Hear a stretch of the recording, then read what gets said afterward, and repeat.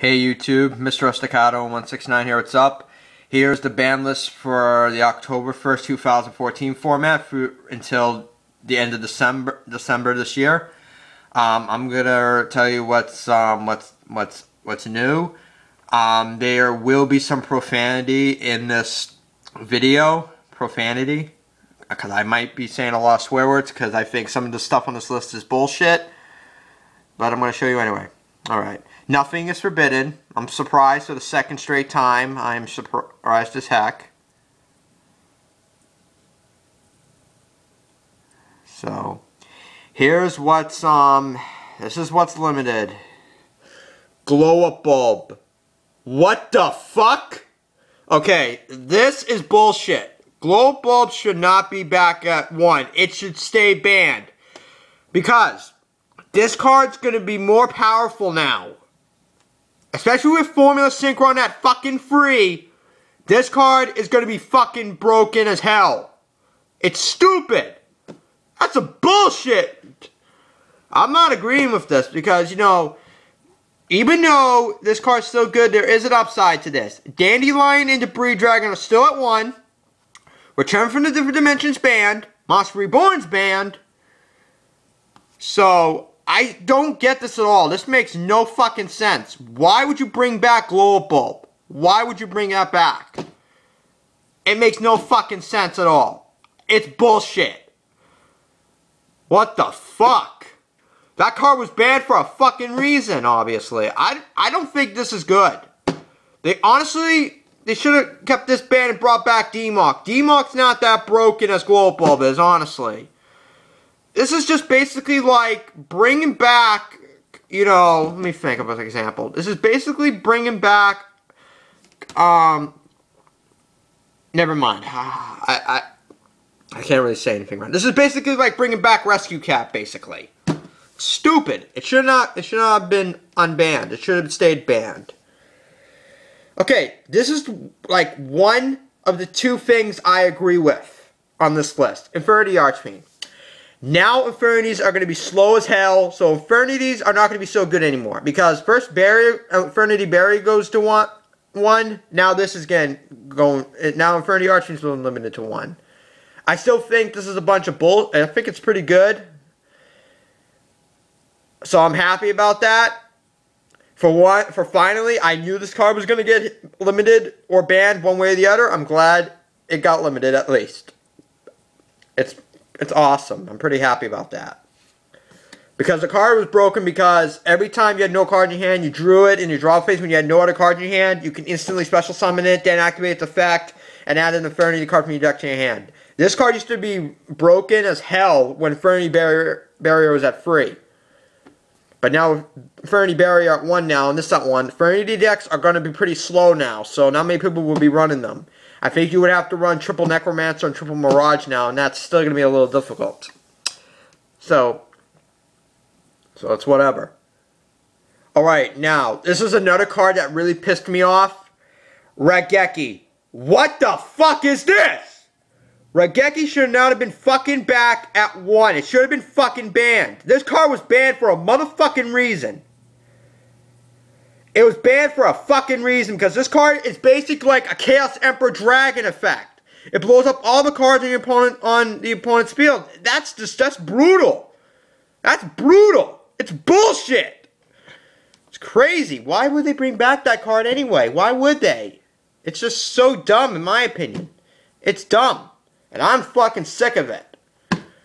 I can't believe they brought back that card even though it was banned for so many years. This card's been banned since 2005 or 6, and now it's back. Holy shit. What is this game coming to now? What is this what is this format coming to? Oh shit, that's fucking crazy. Okay, Soul Charge. This I agree with. The card was broken because it was popular in several decks out there, like Sylvans, Satellarknights, uh, Dragons, Lightsworn. You know what I mean. This card, yeah, it it needed it needed to uh, it needed to um be hit limited to one. So I agree with it 100%. Super polymerization. One reason why this got hit to one, I'll tell you why. Shaddolls. They were dominant in the, in the last two YCSs. I think YCS Toronto. This card is dangerous, especially in a Shaddoll mirror match. This card can be very dangerous.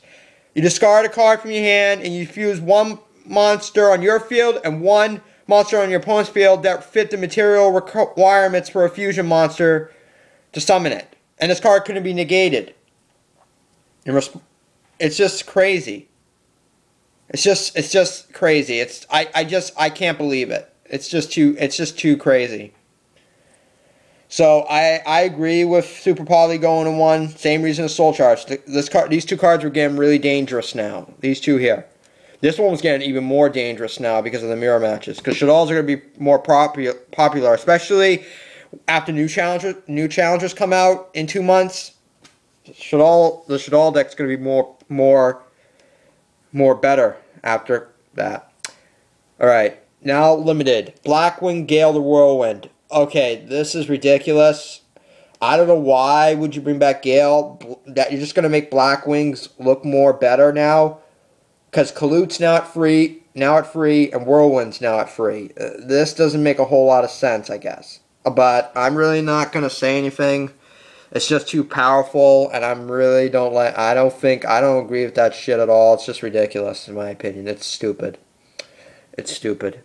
And Gorz, okay, Gorz. I don't know why they would do this. This is like, like last time they put Mirror Force at free, now you're putting Gorz at two. This makes no sense at all. You can't summon two Gorzes at once. I don't think. Because if you could, that card would be too broken. But I'll double check on that, or you can let me know if it can or not. But I don't know why they did this at 2. And I really don't agree with it anyhow, but whatever, it is what it is. Gorz is not that bad anyway.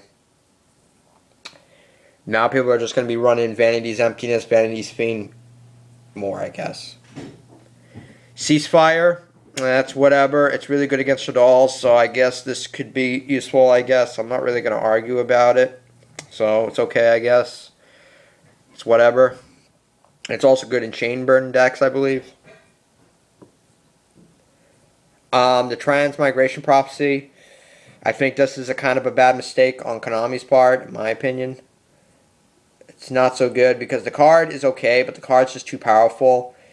It can be good for side de side deck purposes. Again, if you go up against Lightsworns, Lightsworns or Shaddolls or something like that, to put back an important ingredient they need in the grave back into their deck or something like that. So it could prove to be useful, but it could be use, it could actually be dangerous in other ways. Like you bring back cards you need to use again that you're not able to bring back by any by other by other methods. So it's I just don't get this.